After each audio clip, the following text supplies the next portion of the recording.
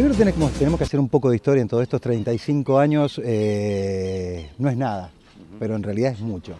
Y en esto ha demostrado la seriedad con que se ha trabajado tanto del sector público en privado y privado en esta puesta en escena de la, de la fiesta. De la fiesta que antes era la fiesta de, Mendoza, que era la fiesta provincial del turismo, y hoy tenemos una fiesta nacional.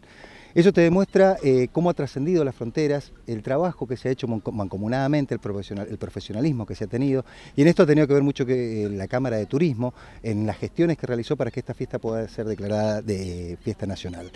Y no solamente con estos aditivos de poder, de poder poner a San Rafael dentro de la vidriera nacional, ya en la provincial estábamos, ya sabemos que dentro de la vidriera nacional también, pero con esta fiesta nacional, creo que es un aditivo más. Y en esto buscando los mismos objetivos que, busca el sector privado, porque muchos se preguntan por qué esta fecha, un mes de noviembre, donde hay poco turismo. En realidad esto persigue un objetivo, que el objetivo es eh, que sea una fecha donde vengan turistas acá al sur mendocino, que vengan a San Rafael, que vengan a Mendoza.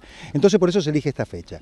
Y ya partiendo sobre esa fecha empezás a ver todo el movimiento que tiene todo este, todo este escenario que se, que se ha formado, pero siempre buscando un objetivo, primero es mostrarles hacia todos los turistas lo que hacemos y lo que somos los sanrafalinos.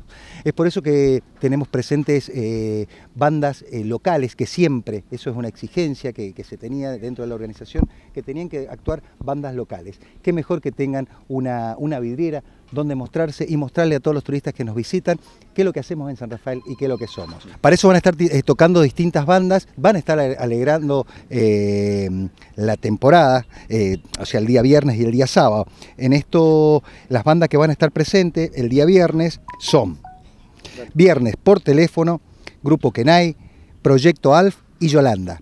A su vez es el, grupo mayor que van a estar eh, los Totoras este, presentándose. La verdad que un show, una fiesta va a haber porque lo que buscamos es Y ya lo que es para el día sábado van a estar presentes Banda del Amor, Equilibristas, Cerro Dublín y La Poderosa del Rock.